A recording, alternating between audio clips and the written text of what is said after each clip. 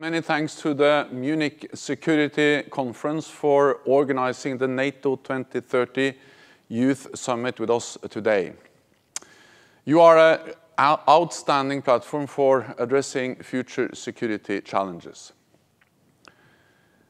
Good afternoon, Europe, and uh, good morning, North America.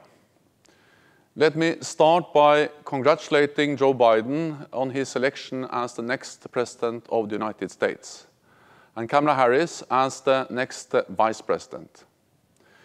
I have worked with uh, Joe Biden for many years, and I know him as a strong supporter of NATO and the transatlantic relationship. A strong NATO is good for Europe and good for North America.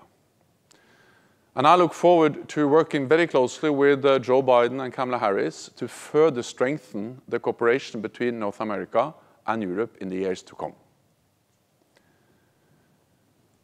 When NATO leaders last met, they asked me to lead a reflection on how to make our strong alliance even stronger, forward-looking, and fit for the future. And that is why I'm holding this Youth Summit, uh, NATO 2030 today. Because NATO 2030 is about your future, your freedom, and your alliance. When I was your age, everything, I grew up uh, in Norway, and uh, my views and values were shaped by the world around me. We lived under the shadow of the Cold War and the threat of nuclear attack. But we felt safe because we were part of an alliance and trusted that our friends in NATO would always come to our aid. One for all and all for one. That solemn promise has kept NATO allies safe for more than 70 years.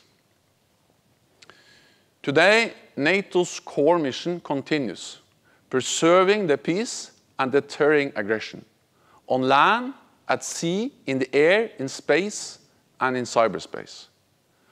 From pandemics to infodemics, cyber attacks to climate change, our world keeps on changing, and NATO is changing with it. So in a more uncertain world, we need a strategy to deal with uncertainty. In a more contested world, we need a forum to settle our differences.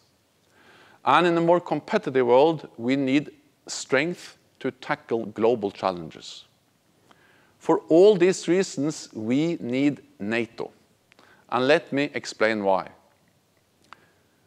First, if COVID-19 has shown us anything, it is that our world is more unpredictable than ever before.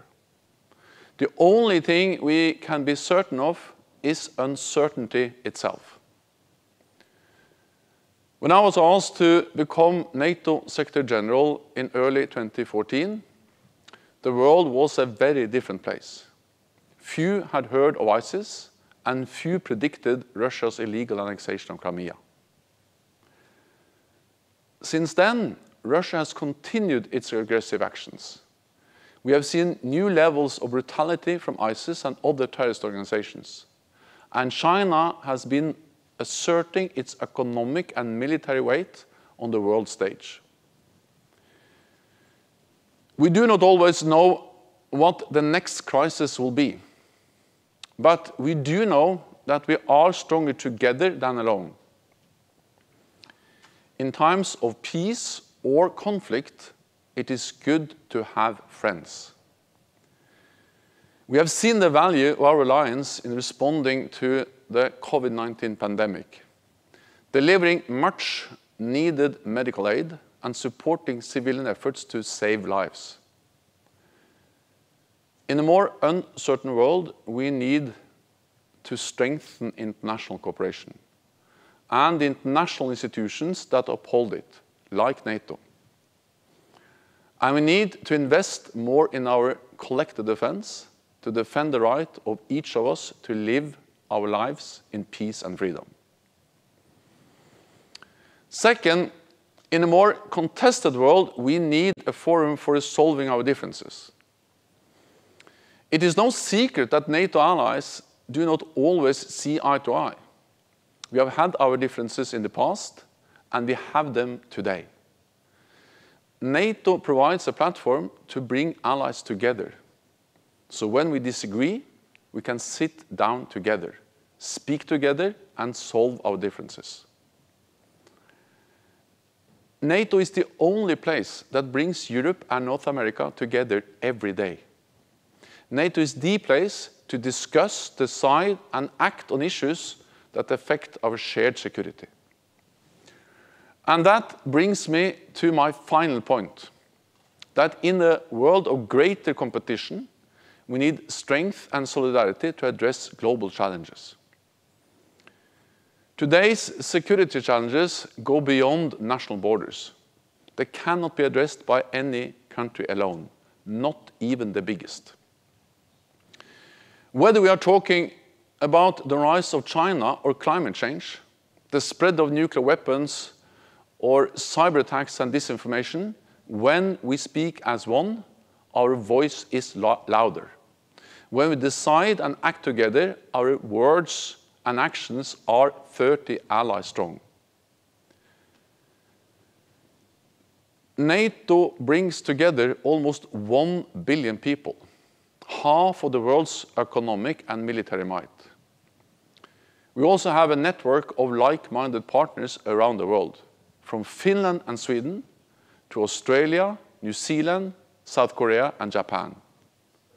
So as we face even greater global competition, we must work even more closely together to defend our values and way of life, and to strengthen the global norms and institutions that have kept us safe and strong for decades. Faced with a more uncertain, contested, and competitive world, we need a strategy to deal with uncertainty, a forum for resolving our differences, and the strength to tackle global challenges. And that is why we need NATO, now, for the next decade, and beyond. You, tomorrow's leaders, both in North America and Europe, have the greatest stake in our security. So NATO 2030 is the chance for you to step up and safeguard your future, your freedom, your alliance. Now is the time for you to share your views and tell us your ideas. So welcome to the NATO 2030 Youth Summit.